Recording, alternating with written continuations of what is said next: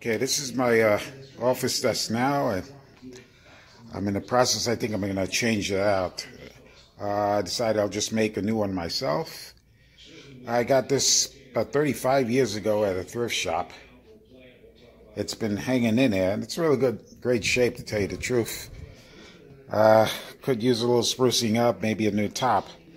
But I decided uh, I'm going to go ahead and make my own uh, desk instead of buying a new one or rehabbing this one. I may have find a place for him. Someone else will probably love to have it.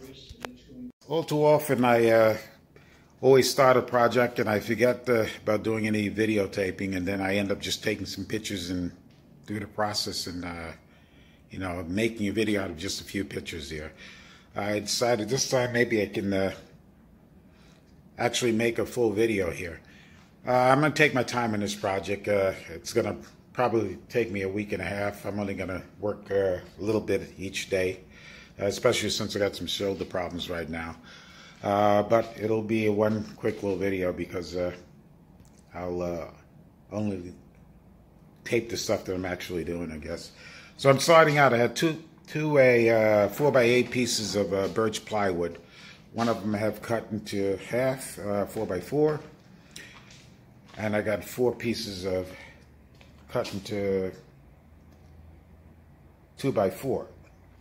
Also got some uh, half inch ply, like a whiteboard or something, and two sheets of that two by four, and uh, this thing here, some white sheet. This is not exactly what I was looking for. I was looking for some white plexiglass.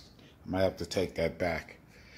I have a general idea what I'm going to do here, but uh, everything's open. So I may be changing things as I go along. This is a pre preliminary draft of it anyway, where you got the front sides and the rear there. Uh, I'm not going to take that too uh, stringent because I'm going to make some changes, of course, as I go along. Okay, this is where we're starting, and uh, right now I'm just going to get some measurements through. I'm not actually going to do any work today anyway.